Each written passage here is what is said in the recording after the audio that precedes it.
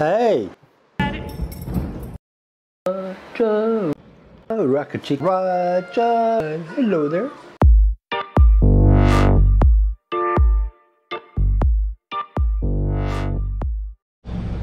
So I'm coming down to Playa de Murcielago, the beach here in Manta. I've taken you around in my car. Today, I'm going for a walk. I'm going down the stairs here. You can see from the map here, look at the arrow, this is where I'm at. This is probably the first real walk I've taken since I got my foot operated on and I think it's time to finally get out and start walking because I've been you know, I think I think it's healed quite nicely so we're going for a walk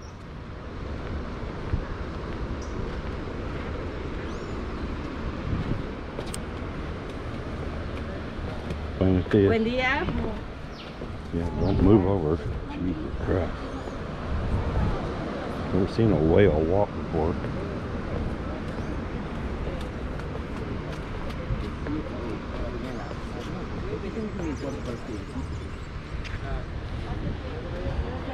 Okay, here we go. Uh, kind of low tide, looks like.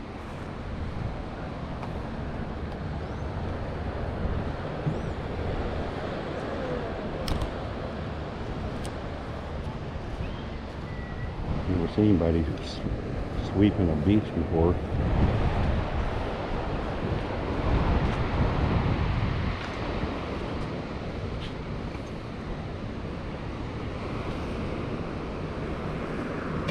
Got some interesting looking clouds out on the horizon. You can see it was a big thunderstorm you can tell just by looking at it and how it's when you see it spread out like that on the top that's a dying thunderstorm. All the damage is done. It's dispensed all of its water. And now the wind's blowing it away. I love taking pictures of clouds like that. I have a effect that I run in my editing process that makes them really pop and stand out. Beach not very crowded today. There's not very many people here. Kind of surprising. It's been months since I've been down here.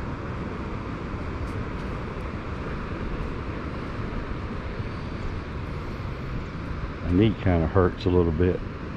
I don't know how far I... My original plan was to go down to the rocks down there. That's a long ways down there and back up to the mall from my place is like 1.2 miles. Could be a bit of a challenge. Or I might just go to the surf shack there and go up the boardwalk. Going that way.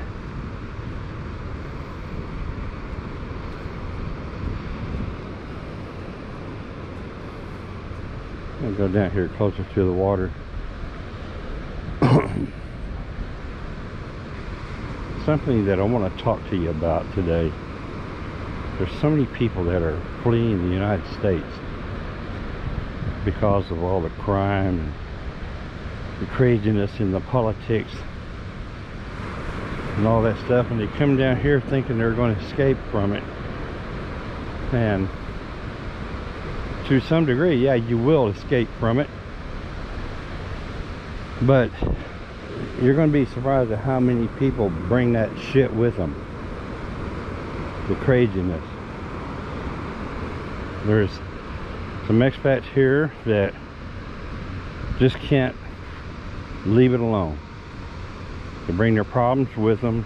I always tell people, leave your problems at the airport. When you get on the plane, leave all that crap behind you. Don't bring it down here with you. We don't want it you can come here and get on TV services and watch all the news and stuff you want to. That brings me up to another point I want to make. Uh, it's my contention that a lot of the bad stuff that goes on in society today is largely due to social media. You know, there's a lot of craziness coming from social media. Too many people are watching the news on social media and you're getting fake news, you're getting wrong information, inaccurate information, non-substantiated information, nothing verifiable. It's just all these internet experts that have an opinion and they want to regurgitate it all off onto the internet. You know, this all started with cable TV. If you really think about it, it all started back in the 60s when cable TV was coming about. I can remember as a kid growing up, the uh, we had three network broadcast TV stations in Austin, Texas. We had ABC, NBC, and CBS, and then we had a PBS channel. I always liked watching PBS. Uh, a lot of documentaries and stuff like that. It's very interesting stuff on PBS. Good entertainment. And then this guy named Ted Turner came along and started Cable News Network, CNN. And everybody, you know, that had cable could now, you know, watch CNN. That was always the channel to watch. CNN, headline news, CNN. Before that, you know, we had newspapers and the radio. If we wanted national news, we'd read Wall Street Journal, New York Times, Chicago Tribune, Houston Chronicle, San Francisco Daily News, San Francisco Times. I think that's what it was called, San Francisco. Somebody may have to correct me on that one. But, you know, with the advent of cable, all these people started up their news broadcasts and now we have a plethora of these broadcasters broadcasting spitting out regurgitating bullshit news that basically meets their agenda their narrative. And you hear what they want you to hear. I've watched Newsmax here recently a couple times and all I could hear was pro Trump you know people say why are you watching CNN I watch CNN so far I don't see a problem with watching CNN I don't see any bias in CNN but I'm sure it's there. And I'm sure there are a lot of you are going to come back and say you know start yelling at me. What's wrong with you? Here's what's wrong with CNN blah blah blah. All you freaking experts. It's amazing how people can tell me about all the bad news in the world, but you can't tell me why it's there what it's going to do or what it's going to take to fix it. But social media, cable TV, social media, internet, the spread of information. spread of information is good, but if it's the wrong information, then it's bad, obviously. So that's my rant about that. You can see here these trails. These are all worms that do this. I don't know what kind of worm it is but it's interesting to see it in the sand.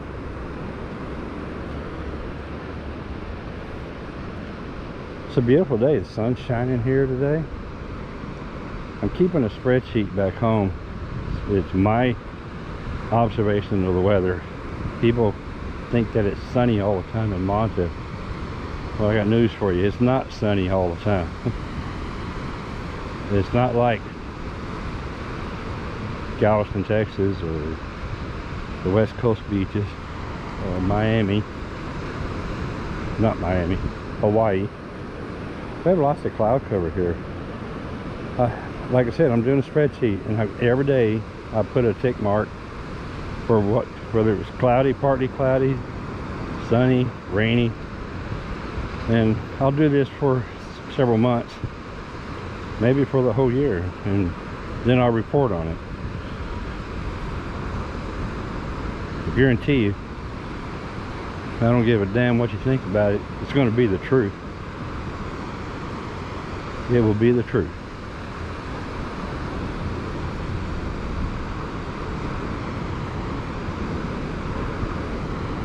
Buenos dias. God, these worm trails are all over the place. See them. Amazing. I love seeing those big thunderstorms out on the horizon.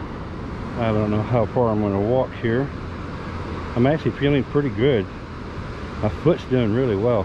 So when I had my surgery done on my foot, doctor said, walk, walk, walk. Get rid of the cane. Don't carry a cane. Walk. Just walk. Well, hell, I was walking everywhere. This is before I got my car. And my foot was not healing. It was like killing me all the time. It's like my foot was saying, hey, give me a break. For crying out loud, man. Take a break once in a while. And I've had to do that. And when I got my car, that's exactly what I did. I took a break. And of course, I think I've gained about 15 pounds since I bought my car. And I don't want that to happen. So some major changes are going to take place quickly. I'm going to start walking. I'm going to start walking this beach. I stopped walking this beach because there's something in this sand that I'm allergic to and it makes my legs itch. And, but I'm going to do it anyway and I'll go to the doctor and get medicine for it and find out why in the hell you know this, this whatever it is is attacking me but I'm to take a picture here take a picture here of this horizon and I'll see if I can do some magic with it later. So, uh, I just love to see these clouds like that up against the dark sky. On my pro gear, my camera, I have a Nikon Z7 and some really good high-end lenses that I brought. I don't carry them out with me, but I shoot with them a lot. When I shoot these pictures that people see that I take and put on Facebook of the really high contrasty clouds. People, some, somebody asked me, how come you're able to do that and I can't? I take a picture and it doesn't look like that. Well, the reason why is because it's, it's you know, to be a photographer is not just taking a picture and then posting it. That's, that's just the start of it all. You take the picture and then we have to go and edit the image. There's not a single picture that comes out of my camera that I show that I display to anybody that doesn't go through some editing process. Now I can't believe this here is Dana and Dwight Davis following me on the beach I can't we're we're live right now I thought you might have I was just talking up a storm, talking about photography, and here you are. it's my first walk since I got my car. Well, you've been driving around too much. I know. Look at this. I was wondering if you was getting any exercise since No. you lost your car. No, I haven't. So I, it's starting today. I just like I, I got to do something. I was I don't know how far I'm going to walk, but I'm having a pretty good discussion with my audience. We're talking about clouds. We're talking about how, I shoot these clouds and get this real high contrast Can't look. beat beauty out here. And then and then here comes subscribers harassing me. Your best you know. and favorite subscribers, by the way. I know. All right, I'll let you guys go. I'm gonna continue my lecture. Please do. I'll see, how far you, did you go all the way to the rocks? One trip back, I'm trying to add up, but I've got some problems with this IT band I'm trying to work out. So Oh, okay. I'm adding a little at a time. All right. Poco a poco. Okay. Trip all the way down and back to Oceania Yeah. It's one mile. It is. It's two miles. It's a mile down, mile back. Okay. Cause I figured from my place uh, down to the rocks and then up to the mall was 1.2 mile. It's more, that's Yeah. more, a little more than Well, It is. I would count it as more. Yeah. I, I did it by counting steps and then I just kind of guessed it. You know. Have a good day. All right, see you later. All right, bye. That's my friends Dwight and Dana Davis. That's some of the best people you can want to meet. When you want to meet expats in Ecuador and Manta, that's the couple you want to meet right there. There they go. Super nice people. That's the uh, they're they're the epitome of the the expats that came here and left all their crap behind in the states and come here and started a new life. Look at this beach. Look at this ocean, folks. How can you not want to be in this? You know, I'm gonna walk down here closer to the water. I'll get back on my photography discussion in a minute. So here's there's where I came from. So I not don't see what's on my camera anyway. I live up there. But look at this. You could be doing this yourself. You can live here in Manta and experience this experience that I'm going through right this minute for less than $1,500 a month. Live in a nice place. It won't be quiet, but it'll be nice. it's a little bit of exaggeration on the quiet, but anyway. Oh my God, that water's coming from me. but, okay, here we have a soccer team back here practicing. And let's see, I'm going to continue. God, where did they go? They were walking fast. So, I don't know how this is going to look because I'm walking right into the sun. But, but anyway, back on the photography thing. When I when every picture I take goes through some editing process. When I take those cloudscape pictures, I use a polarizer on my lens for one thing, and I set it correctly so that it it works. You know, works. You have to rotate a polarizer so that you get maximum benefit from it. And then I have some presets in Lightroom that I apply to the image after I crop and remove center dust and all that stuff. You know, so everything goes through Lightroom and sometimes it goes through Lightroom and Photoshop. You know, it's doing a little bit of everything. And that's how I get these images. There's it's no secret, it's no special skill that Don Shader, the photographer, has. But it's just me taking the time to do it and spending the money for the software. You have to lease the software, you know, you Adobe has this package where you can get their Lightroom and Photoshop package for photographers for like $10.95 a month. And there's no, well, there is an obligation to it. I think you have to do it for like a year. But I had Premiere Pro that I was doing for my videos. Cost me $23 a month. And I decided I didn't want to do that anymore, so I canceled it, and they charged me $87 cancellation fee. Let me see here where I'm at. I want to make sure I'm recording. And I am. GoPro will record 30 minutes at a time. I don't know how well you can see that ship. It's a car carrier. There's a couple of those that come here a week. And they unload cars, tractors, trucks, trailers, all kinds of stuff that's got wheels under it. And I don't know where the stuff goes. All over Ecuador. Okay, I'm going to turn around and head back the other way.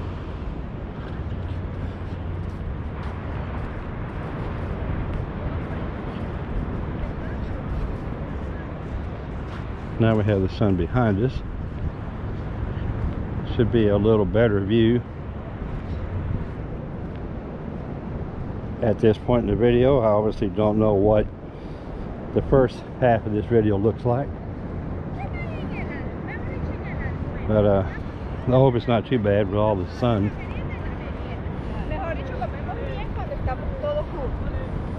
I know that from basic training in photography that you don't ever shoot into the sun.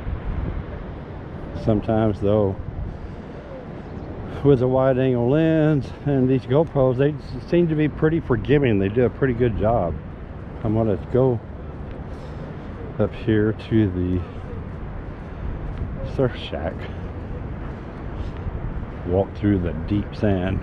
That's where I get most of the sand on my legs. It's going from this part of the beach where I'm at right now through the real thick sand. Then I'll take the boardwalk up to the plaza. And over there's the mall which is where I'm my final destination is. So I can stop at Dulce and Cremoso and have a a favorite meal there. Is the omelette de Quito. It's a keto omelet. So omelet with cheese, smoked ham, which is really good.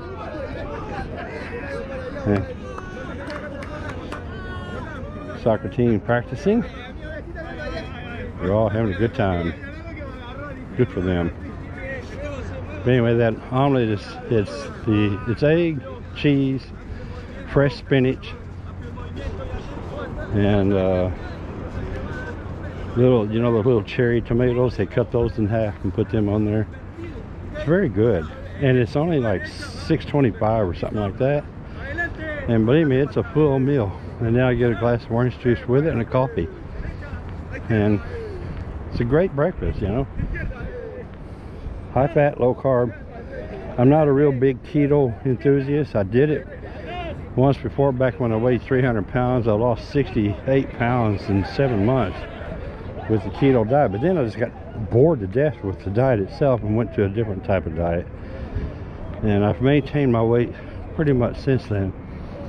But after coming here and after getting my car, I started gaining weight. So time to do something about it. So I try to keep my carbs to a minimum. Stay away from bread products, starchy foods, potatoes. But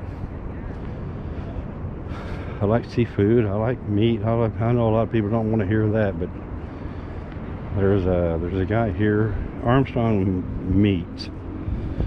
He processes beef, and he has some really good stuff. Yes, I'm going to be doing a video about it real soon. He does ribeyes, ribeyes. I think he said he had porterhouse steaks, T-bone, sirloins, and and then of course yes, Italian sausage and pork or uh, smoked sausage all the sausage, all of its sausages are really, really good. Polish sausage, that makes a great meal. I discovered that.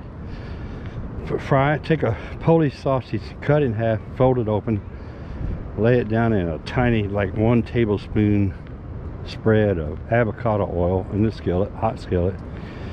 And then I throw some butter on the side and I saute shrimp, fresh shrimp. And I eat that fresh shrimp with that uh, Polish sausage. And that's a good combination. That really tastes good.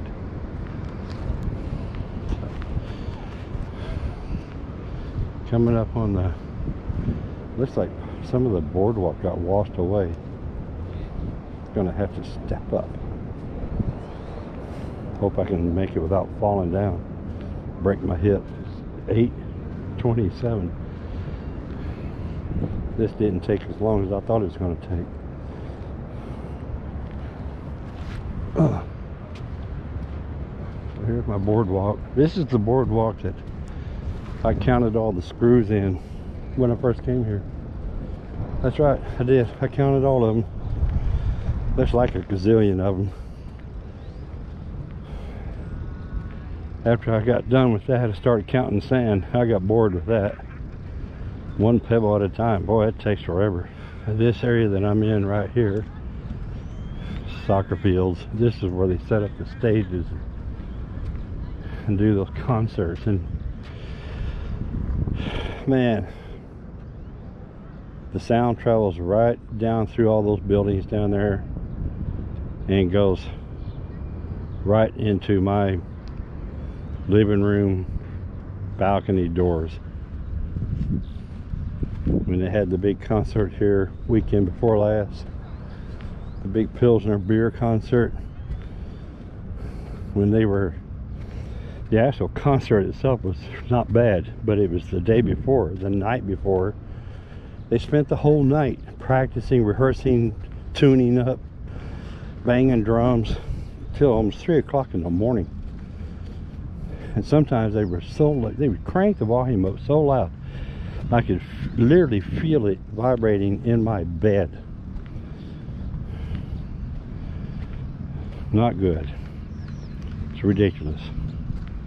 There's no zoning here. There's no zoning laws here, so they people can play loud music and concerts wherever they want to. They can open up a nightclub right in the heart of a neighborhood, residential neighborhood, and you can't do a damn thing about it. I don't they don't get it. They don't understand what that does to the value of property, but you know, the Ecuadorians are used to it and that's the way they live their life. It doesn't bother them. And their attitude about if we don't like it, get out. Just go home. That's pretty much the way it is. It's their right. It's their culture. You can't do anything about it. So that's one thing you got to get used to if you're going to live here. Not easy, but I'm going on two years that I've been here. And I've experienced it all. So now this area that I'm coming into here, this I call this the plaza. All these shops on the left hand side here are all restaurants and bars. And it goes all the way up to those buildings over there. When the cruise ships come in, all the drunks off the cruise ship come in here and frequent these restaurants and drink up all their booze. It's cheap cheap for them compared to what they're used to paying on that ship.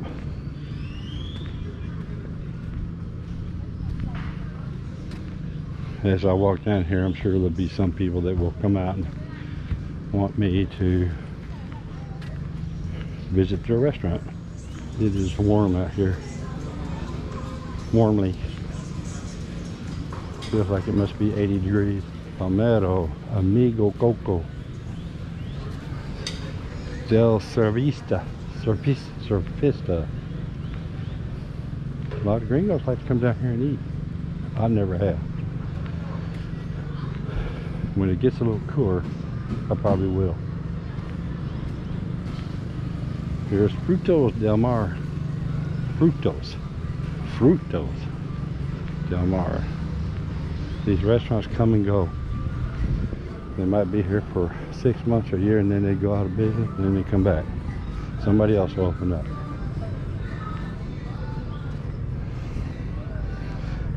Can't believe there's hardly anybody down here. It is a Tuesday morning. Of course, the weekend it gets packed. Here's the main plaza. And I don't know about this time of year, but around six o'clock on that stage right there, they have aerobics exercise class. It's over there.